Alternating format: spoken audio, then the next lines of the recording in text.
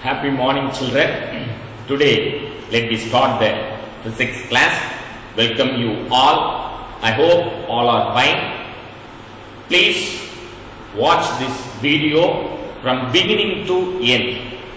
Students, listen carefully.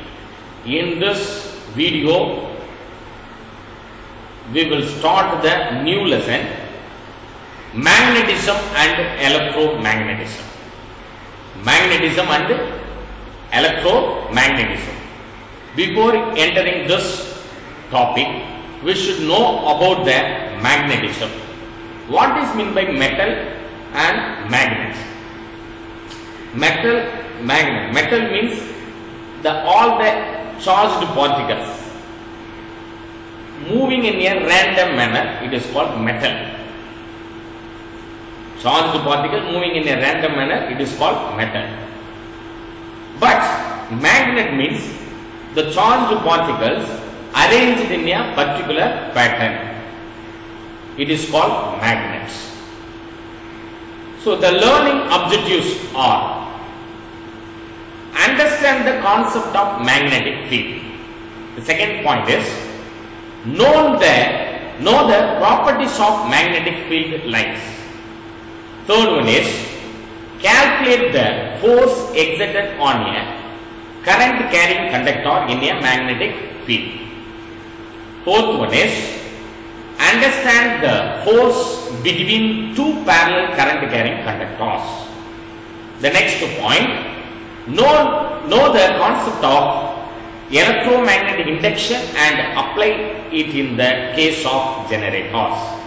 The next point appreciate how voltage can be increased or decreased using transformer. The last one is understand the applications of electromagnet and apply the knowledge in constructing device using electromagnet. So what is mean by magnetic field? First of all, we should know about the magnetic property. The magnetic property in the natural magnet is permanent. It never gets destroyed. The lodestone were used to make a compass in the olden days. Artificial magnet are made by us. So the magnet available in the shops are basically artificial magnets like this. This is the magnet, artificial magnet or man-made magnet. Now, magnetic field. What is mean by magnetic field? The lines of force occupy the surrounding surface area of the magnet. It is called magnetic field. But we, we cannot identify the lines of force. When the any metal, iron metal or any other substance entering in this field, it will be attracted or repelled by the magnet. So, when the iron metal placed in a particular distance, that means enter to the magnetic field, what happens? It will be attracted by the magnet. So, activity 1, put a magnet on a table and place some paper clips nearby. If you push the magnet slowly towards the proper clips. There will be a point at which the paper clip jumps across the stick to the magnet. What do you understand from this? From the above activity, we notice that magnets have an invisible field all around them which attracts magnetic magnetic materials. In this space, we can feel the force of attraction or repulsion due to the magnet. Thus, magnetic field is the region around, this is the definition of magnetic field. Please note it down children. The magnetic field is the region around the magnet where its magnetic influence can be felt. It is denoted by B and its unit is Tesla. So, this is the magnet magnetic field is the region around the magnet where its magnetic influence can be felt.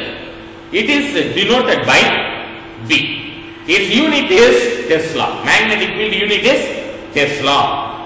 So the direction of magnetic field around the magnet can be found by placing a small compass in the magnetic field. So this is a small shape of compass box which is placed nearby the magnet. We can identify the direction of the lines of force in a different place. The magnetic box, small size of magnetic box placed nearby the magnet we can easily understand. So now listen children, here listen. This is the magnetic needle placed nearby the magnet. What happens? It will denote the direction of the magnetic lines of force. So it will move in a different position. The needle it will deflected. That means point out the direction of the magnetic field. Listen children, listen carefully.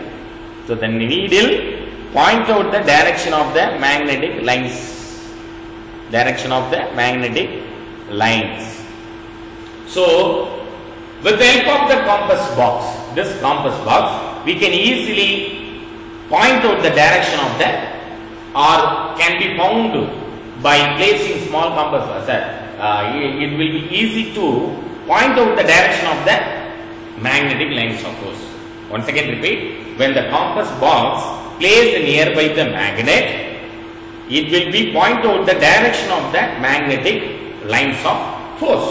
Magnetic lines of force. The next topic is magnetic field lines.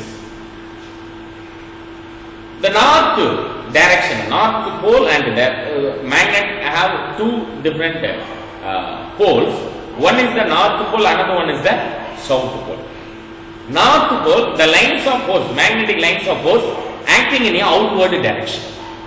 Magnetic north pole, the lines of force acting in a outward direction, this direction, outward direction. But the south pole, the magnetic lines of force acting in an inward direction, inward. The magnetic lines of force acting in a inward direction. When the north pole, north pole placed nearby, the repulsion takes place. But the north pole and the south pole placed nearby, the attraction takes place. So the magnetic field lines is defined as the curve drawn in the magnetic field in such a way that the tangent to the curve at any point gives the direction of the magnetic field. They start at the north pole, so the lines of force start at the north pole and ends, ends at south pole. So the lines of force start at north and ends to the south pole. In the figure given in your textbook, the arrow mark indicates the direction of magnetic field at points A, B and C. So here this is the point A and B and C. So the lines of force start from north and ends at the south. ABC. Note carefully that the magnetic field at a point is tangential tangential to the magnetic field lines. Now, the next important term is magnetic flux. This is very very important. Two mark children. Please note it down. Magnetic flux is the number of magnetic field lines passing through a given area. It is denoted by phi. The symbol is called phi and its unit is Weber. WB and the unit is Weber. Once again repeat, magnetic flux is the number of magnetic lines of force passing through the given area.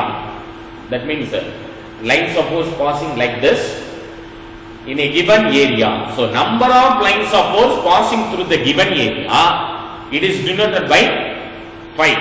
And, and the unit of unit is Weber. Magnetic flux unit is Weber. So the number of magnetic field lines crossing unit area kept normal to the direction of the field lines is called magnetic flux density. Another one definition magnetic flux density. Please note it down children. The number of magnetic field lines crossing unit area kept normal to the direction of the field lines is called magnetic flux density. It is shown in this figure. It is Also, the unit of this magnetic flux density is Weber per meter square. Weber divided by meter square. Do you know? Some C rootless loggerhead sea turtle. That is a return to their birth beats many deca- decades. Decades means 10 years. 10 years is nothing more one decade. After that they were born to nest and lay eggs. So this is a great example then properties of magnetic lines of force. This is very very important uh, detailed question and two more question also. So this is very very basic fundamental concept. Magnetic lines of force are closed continuous curve and extending through the body of the magnet. So the lines of force closed and curve continuous curve extending through the body of the magnet magnetic lines of force start from north pole and end at the south pole. This is the second point. Once again repeat. Magnetic lines of force start from north pole and end at the south pole. The third point magnetic lines of force never intersect. Magnetic lines of force never intersect.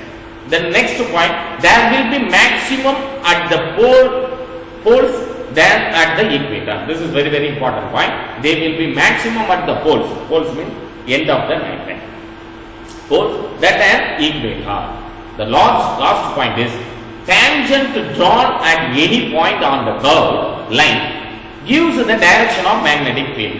The tangent drawn at any point on the curve line gives the direction of magnetic field so this is very very important question. Properties of magnetic lines of force. Properties of magnetic lines of force. The next topic very very important detailed question answer. Magnetic effect of current. Magnetic effect of current. It was on 21st April 1820 Hans Christian Ørsted a Danish physicist was given giving a lecture. He was demonstrating electrical circuit in the class. He had to often switch on and off the circuit during the lecture.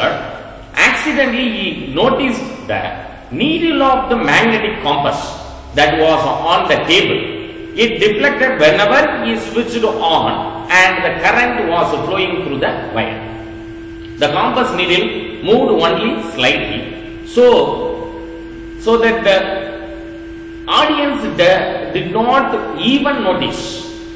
But it was clear to Ørsted that something sufficient was happening. He conducted many experiments to find, find out the startling effect the magnetic effect of current. So this is the circuit the circuit which is connected to the battery and the resistance, the compass box A and B which is placed above the wire, below the wire.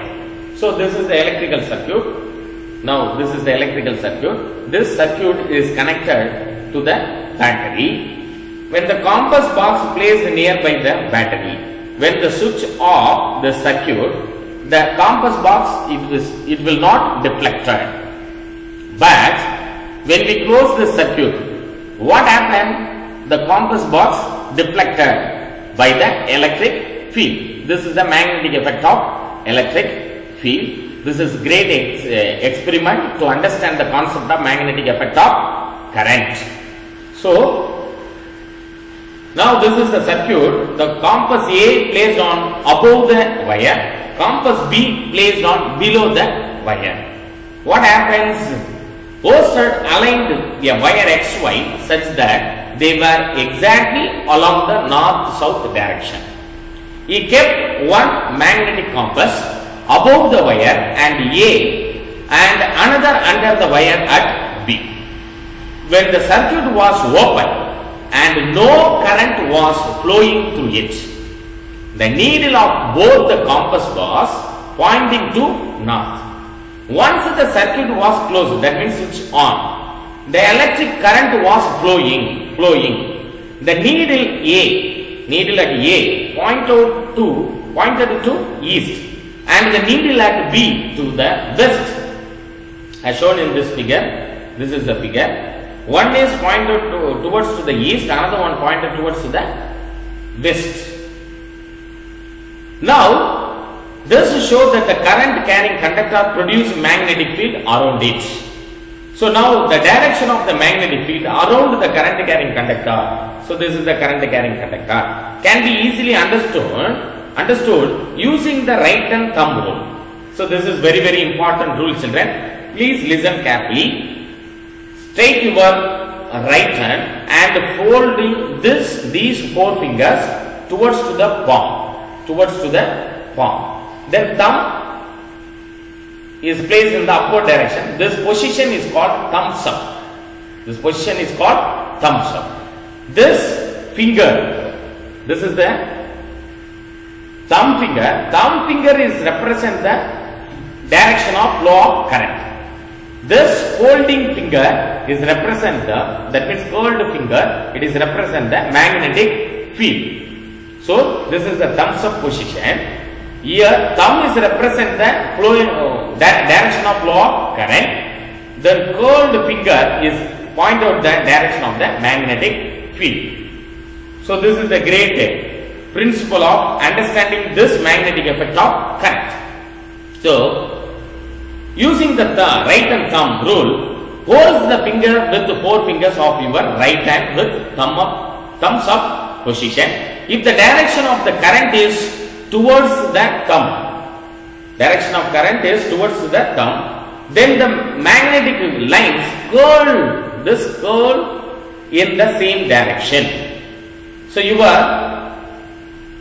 other four fingers shown in this figure, this shows that the magnetic field is also always perpendicular to the direction of current. Strength of the magnetic field at a point due to the current carrying wire depends on, this is very very important, two mark children, listen carefully. Strength of magnetic field at a point due to current carrying wire depends on. First point is current in the wire. Then the second one is distance of the point from the wire. Then third one is orientation of the point from the wire. And fourth one is the magnetic nature of the medium. So once again repeat the current in the wire. Then second point is distance of the point from the wire. Third point is the orientation of the point. Then the fourth point is the magnetic nature of the medium. The magnetic field lines are stronger near the current carrying wire and it diminish as you go away from it. Maybe, so this is the wire, current carrying wire. When the magnetic box placed nearby the wire means it will experience a more magnetic field. Maybe it will place away from the magnetic circuit, the electrical circuit. It will, it is experience the very less magnetic field. So this is the uh, one demonstration to understand the magnetic field to form nearby the electrical circuit. So this is represented by drawing magnetic lines, magnetic field lines closer together near the wire and far further away from the wire. So this is a, a diagram we can easily understand the right hand thumb rule. Right hand thumb rule. Next video, let me discuss about the force on a current carrying conductor in a magnetic field. Thank you very much children.